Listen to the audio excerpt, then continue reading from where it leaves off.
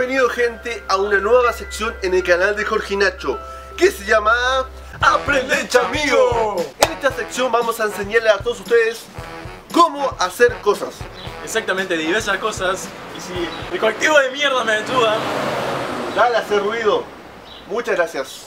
básicamente son tutoriales, diversos tutoriales de distintas cosas que vamos a estar enseñándoles a ustedes. Así que presten mucha atención. Y hoy Jorge ¿qué le vamos a enseñar a la Game Boy. Le vamos a enseñar a lavar un auto. Cualquier vehículo. Puedes lavar una, una camioneta, un camión, un colectivo, un tractor, Un una... avión. Todo, todo. Si tenés un avión en tu casa, puedes lavar porque es la misma técnica. Exactamente, así que bueno, hoy le, vamos a enseñar la técnica correcta que hay que saber para lavar un auto. Así que bueno, vamos a ello. ¡Dale play! ¡Aprende esto, amigo! Lo primero que necesitamos para lavar esta cosa, porque hay mucha tierra, miren, necesitamos agua. Y para necesitar agua, tenemos que ir a una canilla. Como acá pueden ver, es una canilla que le metí una manguera, una manguera que tiene, pesa 4 toneladas y tiene 5000 kilómetros de longitud. Si tiene una hidro es mucho mejor, pero como somos pobres, tenemos esta manguera que tiene más años que mi abuela. Así que conectamos toda esta manguera, ¿viste? Que, mm, que por cierto es muy corta en comparación a mi manguera, ya saben a qué me refiero. Y vamos a abrir el agua. Abrimos, dejar el perro, Nacho, dejar el perro. Abrimos todo para que todo el H2O que sale del el servicio de agua potable venga por la manguera y salga por bueno, todavía no sale, pero la manguera que desenredar ¿Te cortó el chorro? me cortó el chorro. Sale agua, no sé qué. ¡Ay, ay, ay, ay, ay! Ahí está. Está saliendo H2O. y necesitamos el agua para mojar toda la carrocería del auto. Todo. Entonces, mojemos. Bueno, usar mucha agua. Creo que nos están cortando porque no pagamos. Así que antes que te corte, aprovechemos para mojar toda la carrocería de.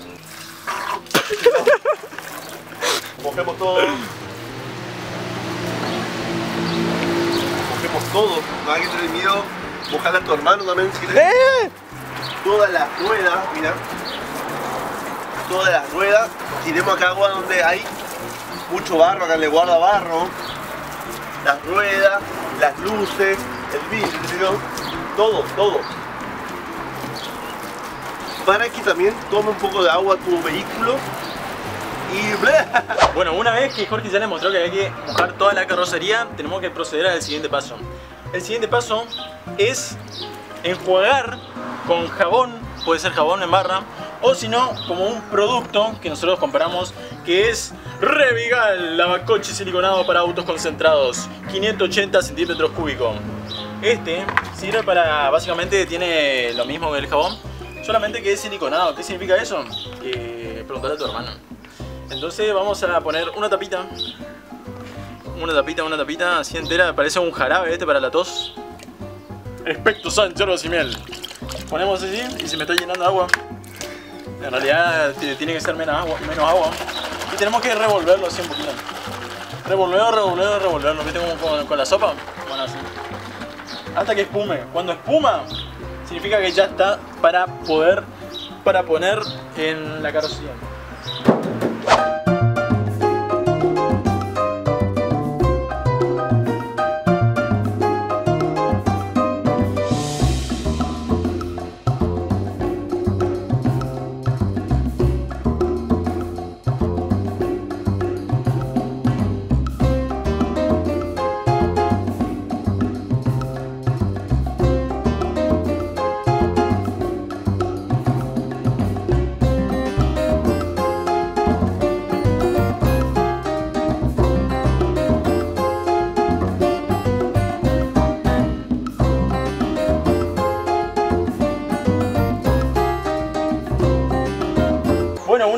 Pasamos todo este jabón siliconado por toda la superficie terrestre, eh, queda una sola cosa, pero antes de eso voy a contarles una anécdota, no mentira.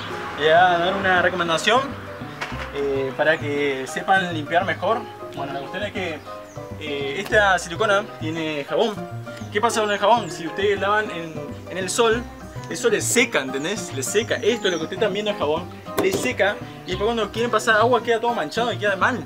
Entonces no se hace así, se lava en la sombra, si es mejor. Y bueno, eso. Así que vamos al procedimiento final del... Bueno, ahora estamos secando, perdón, estamos sacando todo el jabón, todo el exceso de jabón porque hay que dejarlo solamente la carrocería bien limpia. Fíjense cómo recupera el color, fíjense, fíjense. Esto no es magia, esto es simplemente un lavado. Bueno, algo que me olvidé decirles es que primero se lava las ruedas, o sea, el paso es así. Primero mojas todo, luego lavas las ruedas y después recién hacer este procedimiento. Pero, como a mí no me gusta lavar las ruedas, lo dejé a Jorge para que les muestre cómo se hace. Así que vamos, Jorge. Una vez que Nacho enjuagó, enjuagó, enjuagó, enjuagó toda la carrocería, sacó todo el jabón, necesitamos un balde con agua, un cepillo viejo porque hay que cepillar y un jabón. Sígame lo bueno. Auto de mierda. Vamos a venir en la rueda, porque la rueda, eh, como rueda, como roda en la tierra, se ensucia. Y como se ensucia hay que lavar, es lo que más está sucio, como tu hermana. Así que agarramos el jabón, acá sí el director, el jabón, le metemos, le cepillamos, cepillamos, miramos cómo quedó el jabón. Vamos a tirar un poco de agua en la rueda o un chorro de agua y vamos a cepillar. Le metemos acá adentro y cepillamos con toda la fuerza del mundo para sacar toda la tierra que se metió por todos lados. Es con toda la fuerza, como el vecino le cepilla a tu vecina, bueno, así. Así que cepillemos y vemos cómo el jabón va quedando marrón. Eso significa que está saliendo la mugre. O si queda negro es porque está saliendo la mugre también. Es así Nacho, ¿no? Una vez que lavamos esta rueda que quedó impecable, vamos a lavar también las otras tres, porque si lavamos esta va a quedar una limpia y las tres sucia y no queremos que pase eso. Así que después vamos a hacer eso. y bueno Nacho, vamos con tu explicación del siguiente paso. Gracias por darme pie Jorge. Bueno, ahora vamos a proceder al siguiente paso que es el secado de la carrocería. ¿Se entendió lo que dije? El secado del agua, el agüita esta, la agüita cristalina.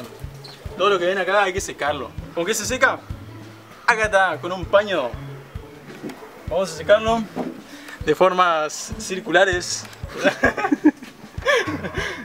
formas circulares porque si no hacen esta técnica no le va a salir. Así que hay que hacer circularmente para que eso... Eh, a ver, a ver si se entiende lo que estoy diciendo.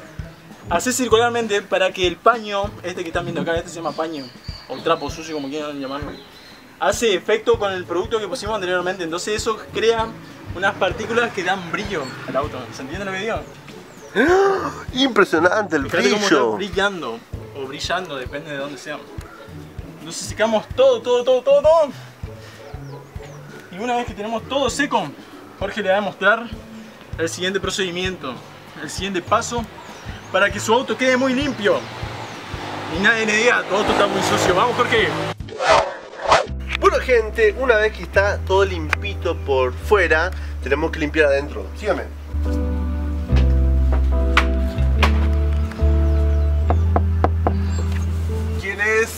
Soy yo. Bueno, como dije, hay que limpiar. ¡Eh, cállate! y también colectivo de mierda.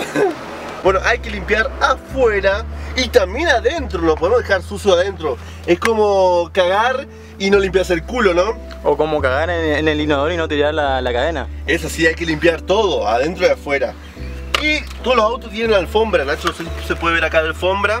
Hay que sacar, hay que sacar la alfombra porque tiene mucha tierra, musgos, arañas, cucarachas, eh, cagada, cagada de ratas y queda mucha, mucha curvilla, mucha suciedad. Así que nada mejor que esta aspiradora de mierda que me salió dos pesos.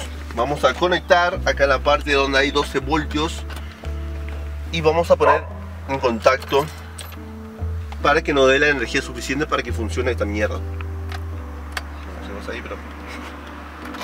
Ahí está.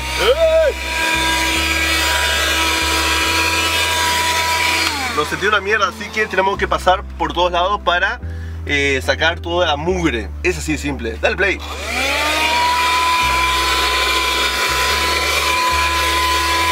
Bueno, una vez que Jorge ya le demostró cómo se limpia esas partículas subatómicas eh, voy a mostrar cómo se limpia esta parte negra que no sé cómo se llama, tablero, eh, plástico, no sé. La cuestión es que no está tan sucio, porque si está muy sucio, tiene mucha tierra, hay que pasar un trapo mojado primero, ¿viste? Para, para sacar la parte sucia, ¿no?